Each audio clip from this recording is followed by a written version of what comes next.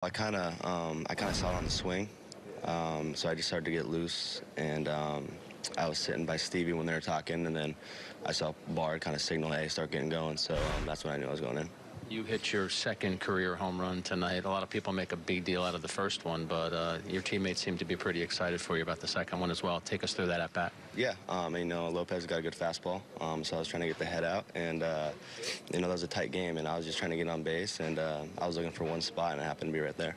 Your numbers recently, especially at Scranton, have been very good. What are some of the things you're doing down there that you like to carry to this level? You know, just knowing what I do really well. Um, and be really good at that, um, and not trying to be somebody else, and just being um, the best version of myself I can be. How easy or how difficult is that to do? It's hard. Um, you got to really be uh, disciplined and stay within yourself, and got to trust your approach and your plan.